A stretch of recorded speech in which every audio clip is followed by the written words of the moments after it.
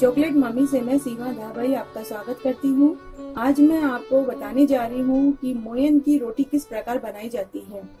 जब जापे में से महिला उठती है तो उसे जापे टाइम पे जो मोयन की रोटी दी जाती है, वो किस तरह दी जाती है, इसके लिए मैंने ये एक रोटी का आटा लगाया है। इसमें मैंने नमक और अजवाइन और एक चम्मच घी डाल के एक अच्छा सा ये रोटी का आटा लगा के रख लिया है। अगर आपके घर में कोई बहुत कमज़ोर है तो आप उसे इस तरह से मोयन की रोटी बना के दें तो उसकी हेल्थ में बहुत सुधार होगा। और जापे वाली महिला को भी बना के दें तो उसे जल्दी से खाना डाइजेस्ट हो जाएगा। अजवाइन डालने से उसे खाना अच्छे से डाइजेस्ट हो जाएगा।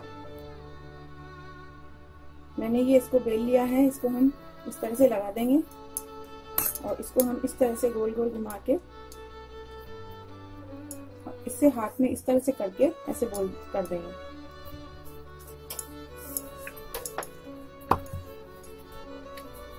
ये हम सेकने के लिए रख देंगे।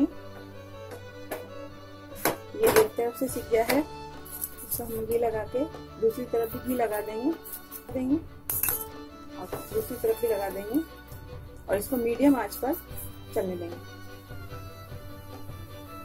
ये बहुत अच्छे से दोनों तरफ़ से सीख गया है। गैस बंद कर देंगे। ये मोइन का पराठा बनकर तैयार है, साथ में दही है। अगर आपको ये रेसिपी पसंद आती है तो प्लीज़ मेरा वीडियो लाइक करें चैनल सब्सक्राइब करें चॉकलेट मामी से मैं सीमा दाबाई धन्यवाद।